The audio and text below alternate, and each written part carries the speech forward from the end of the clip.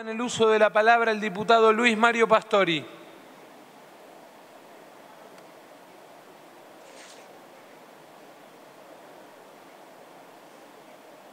Bien, muchísimas gracias, presidente. Eh, voy a comenzar eh, comentando acerca de lo propuesto por el presidente de la Comisión de Presupuesto, acerca del cambio de nombre que propone en cuanto a reemplazar la expresión paraísos fiscales por guarida fiscal. Eh, bueno, no aceptamos la propuesta a, este tipo de jurisdicciones las conoce como paraísos fiscales, guaridas fiscales, también algunos lo llaman refugios fiscales. Este, la, la expresión puede tener una concepción más o menos peyorativa, pero no cambia al fondo del asunto. Lo importante es que en el texto del proyecto em, se habla mm, como técnicamente corresponde como está actualmente receptado en la ley de impuesto a las ganancias, el texto ordenado en el año 2019, cuando habla de jurisdicciones no cooperantes, que son aquellos, aquellos países, estados, etcétera, que no tienen firmado actas de intercambio de información, o si lo tienen no se cumplen, y por otro lado, las llamadas jurisdicciones de baja o nula tributación, que son aquellas definidas por la FIP, eh, hablando de baja tributación, cuando en el impuesto corporativo a las ganancias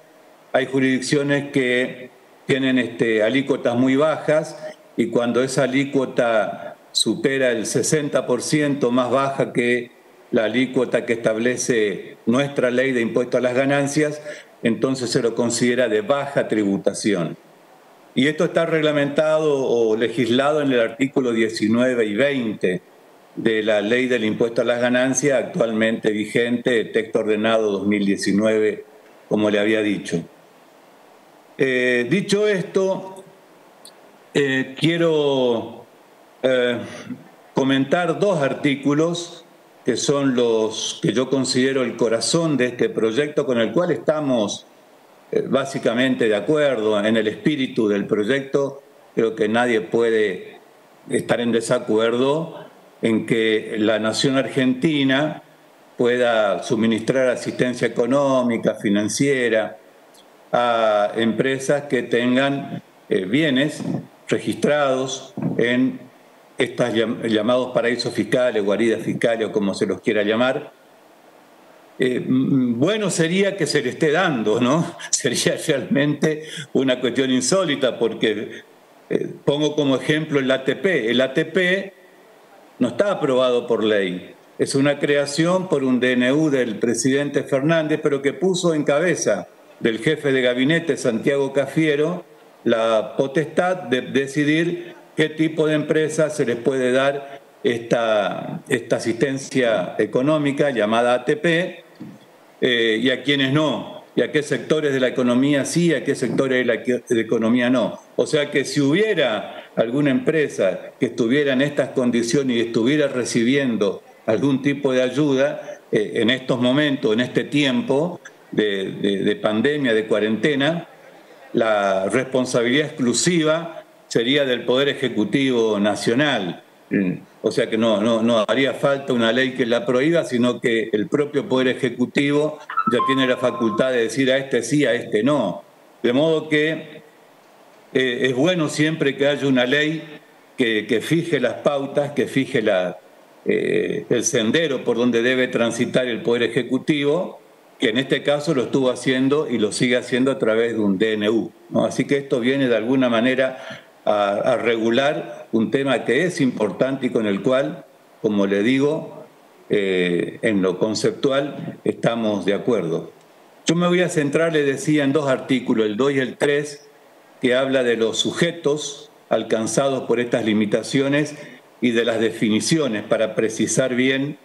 eh, quién están comprendidos y por qué cosas están comprendidos. En el artículo 2, cuando habla de sujetos, eh,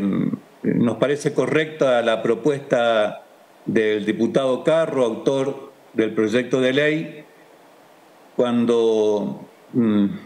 reemplaza la expresión aquellos que tengan algún tipo de domicilio y o registro tributario de bienes,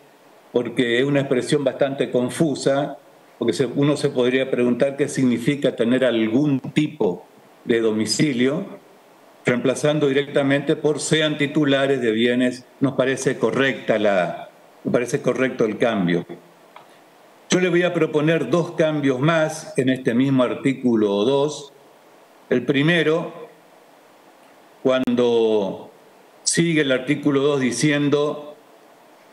en jurisdicciones no cooperantes o jurisdicciones de baja o nula tributación en los términos de los artículos 19 y 20 de la Ley de Impuestos a las Ganancias, texto ordenado 2019 y sus modificatorias, o a aquellas comprobada evasión, y ahí de donde tenemos que precisar desde nuestro punto de vista mejor, porque habla allí de la AFIP y la verdad que la AFIP no condena ni no condena nada. Eh, cuando uno está peleando, litigando por alguna sentencia, por, alguna infracción supuestamente cometida,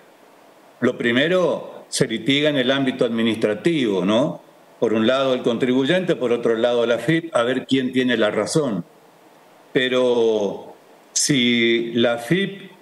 eh, no le da la razón al contribuyente y dicta una resolución condenatoria, en realidad el contribuyente puede seguir apelando yendo a la justicia, por lo cual quien dicta la sentencia finalmente es algún juez de la justicia ordinaria y no eh, la FIP. Por lo tanto, la propuesta sería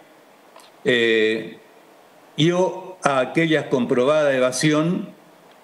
y allí viene el agregado, por defraudación fiscal con sentencia en firme pasada en autoridad de cosa juzgada y eliminar lo que dice de acuerdo a la normativa establecida por parte de la Administración Federal de Ingresos Públicos. Y luego continúa en lo que concierne a las regulaciones tributarias argentinas. Y ahí viene un segundo agregado que proponemos a este artículo. Después de la expresión regulaciones tributarias argentinas, una coma, y el agregado que proponemos sería con sanción en los últimos cinco años previos al otorgamiento de la asistencia económica o financiera. Explico por qué esto, porque si no le ponemos un plazo eh, límite, eh, alguien que haya cometido alguna defraudación fiscal hace 10, 15, 20 años, 50 años para atrás, este, podría estar comprendido en este artículo por haber sido alguna vez sancionado por una defraudación fiscal. Por lo tanto, le ponemos un límite temporal, repito, con sanción en los últimos cinco años previos al otorgamiento de la asistencia económica o financiera. Y hablando de tiempo, solamente una aclaración mm, que no, no está en el, en el texto de la ley, pero queremos dejar expresado nuestra posición en este sentido. Em, creemos, presidente, y, y dejamos así sentado para la versión taquigráfica,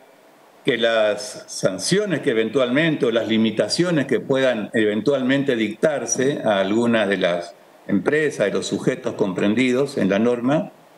tienen que ser de hechos que ocurran de aquí para adelante, nunca antes de la sanción de la ley,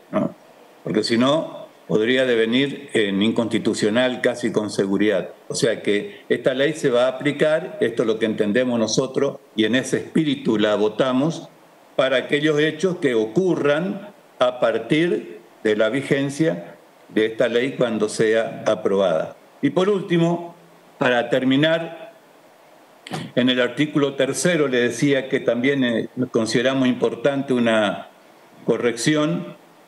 en donde el párrafo que sigue a continuación del inciso A debiera estar